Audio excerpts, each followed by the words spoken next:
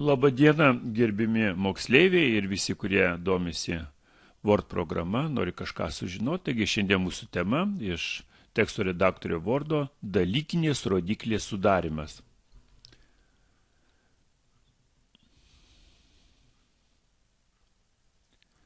Dalykinės rodiklės savoka. Dokumento dalykinė rodiklė esminių dalykų, terminų, savokų, temų pavadinimai išdėstyti abecėlės tvarka, šalia nurodant, kurioje dokumento vietoje jie aprašomi. Popieriniuose dokumentuose vietos nurodomos puslapių ir puslapių numeriais arba saitais.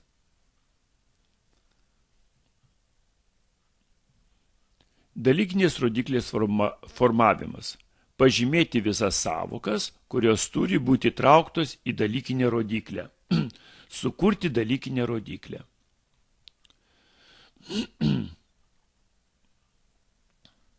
Kaip pradėti dirbti? E, galite sukurti atskiro žodžio, frazės ar simbolio rodiklės įrašą, skirtą temai, kurie apima puslapių seką arba kuris nukreipia į kitą įrašą pavyzdžiui, kažkokį žodį, transport, transportavimas, žiūrėti dviračiai ir taip toliau. Kai pažymite tekstą ir pažymėsite jį kaip rodiklės įrašą, programa Word įtraukia specialų XE indekso įrašą lauką, kuriame yra pažymėtas pagrindinis įrašas ir bet kokia kryžminės nuorodos informacija, kurią pasirinksite įtraukti.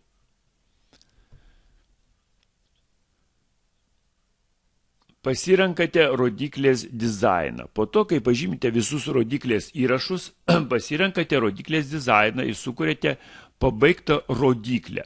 Programa Word surenka rodiklės įrašus, surušiuoja juos abecėlės tvarka, nurodo jų puslapių numerius, suranda ir pašalina pasikartojančius įrašus iš to paties puslapio ir parodo rodiklę dokumente.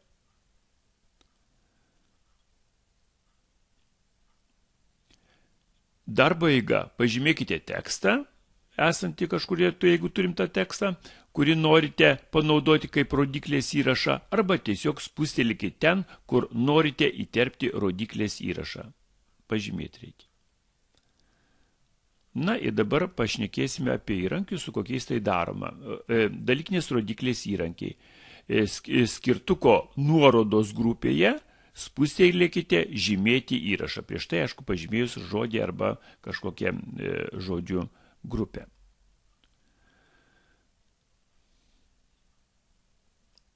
Indekso įrašo žymėjimas. Atsivėrusiame lange, nurodžius pageidavimus laukus, spaudžiame mygtuką žymėti viską.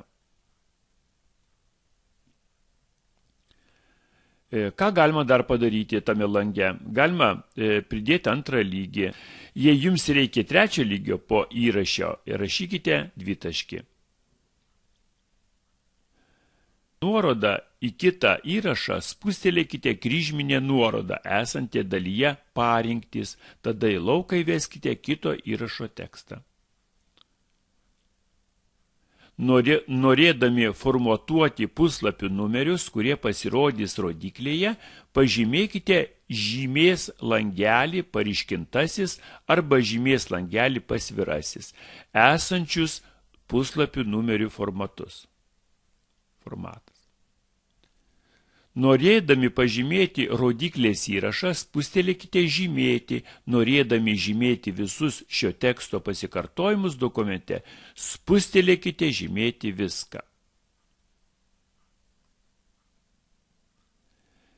Jeigu po rodiklės sukūrimo pažymėsite daugiau įrašų, turėsite atnaujinti rodiklę, kad juos matytumėte. Jei nematote kse laukų, skirtuko pagrindinis e, grupėje pastrai, pastraipa spustelėkite rodyti ir slėpti. Įrankis toks yra - rodyti, slėpti. Norėdami redaguoti arba formatuoti rodiklės įrašą, pakeiskite tarp citato ženklų esantį tekstą. Norėdami naujinti indeksą, spustelėkite rodiklę arba spustelėkite F9 klavišą. Arba skirtuko nuorodos grupėje rodiklį spustelėkite naujinti indeksą. Jeigu rodiklėje randate klaidą, suraskite rodiklės įrašą, kurį norite keisti, padarykite keitimą ir atnaujinkite rodiklę. Pažymėkite visą rodiklės įrašo lauką, įskaitant riestinius kliaustus ir paspauskite dilyti, jeigu norite ištrinti. Taigi teorinę dalį išaiškinau, e, užduotis yra iš vadovėlio Alvyda Losdienė, Jėva Matskevič, pasaulis kompiuteryje antra dalis, informacinės technologijos 11-12 klasė bendrasis kursas ir iš vadovėlio 22 ir 23 puslapio A lygio mokiniai padaro visas užduotis. E, tai naudojusi literatūrą šią bei, bei vadovėlių ir ačiū, kad žiūrėjote. Tai mūsų e, teorinė dalis kaip ir baigta. Atrodo. E, aš pasėmiau iš e, e, nacionalinio egzamino centro e, e, informatikos egzamino, e, reiškia, per priedų pridėtą dokumentą vordinį ir dabar pabandysime su šito dokumentu padaryti dalykinės nuorodas. Tai pirmiausiai pažymėkime žodį. Sakykime, Juozas Tumas Vaižgantas. Pažymėkime Juozą Tumą Vaižgantą. Nueiname į nuorodos, žymėti įrašą, paspaudžiam žymėti įrašą Ir kaip čia žymėjome, galima iš kito šaltinio paimti kažkokią dar informaciją, puslapio diapazoną nurodyti iš kokio paryškintas kursyvas, dabar šiuo metu žymėkime viską. Galima ir palikti, neuždaryti, galima, jeigu kitus žodžius norime, bet dėl, kad nesiklaidinti, padarysime, kad, reiškia, e, uždarysime ir per naujo kokį nors dar žodelį surinksime. Parinksime, sakykime, kūrybą, kūrybą paimsime, kūrybą, vėl žymėti įrašą E, nurodome, kad tai viską įmame ir uždaryti. E, dar kokį žodelį paimkime, e, sakykime, prof, profesoriamas žurnalistų, žurnalistų ir žurnalisto įterpėme įrašą, žurnalistų žymėti viską ir uždarome. Dabar galima dalykinę rodiklę daryti viršuje dokumento galima daryti ir apačioje viso dokumento pabaigoje. Mes matome, kad atsirado, e, kaip mums minėjo, kse e, įrašas toksai, žymeklis. Tai mes dabar pabandykime padaryti įrašą e, viršuje, dalykinį įrašą. Kaip tai daroma? Dabar spaudžiame įterpti indeksą mes galime, mums siūlo e, stulpelius du padaryti, mes galime kiek nori stulpelį pasimti, kalba lietuvių kalba. Dabar mes galime e, pasimti, kokį mes šabloną darysime, sakykime, modernus paimkime, modernus, čia įvairūs, va, tai yra šablono, reiškia klasikinis yra, e, prašmatnus, modernus, ne? Modernus. Na, dar galime pasinaudoti, kad tabulacijos e, žymės būtų kažkokios, kad pusla, iki puslapio e, numerio, tai sakykime, kažkokius punktyrinę pasiemam, va, na, e, reiškia, ir paspaudžiame e, gerai. Mes jau dabar bandykime susitvarkyti, kad gražiai jis atrodytų. Tai e, reikia nueiti į pagrindinis ir išjungti, slėpti ir rodyti viską. Tai šitą išjungiam Ir štai mūsų atrodo e, dokumentas šitaip.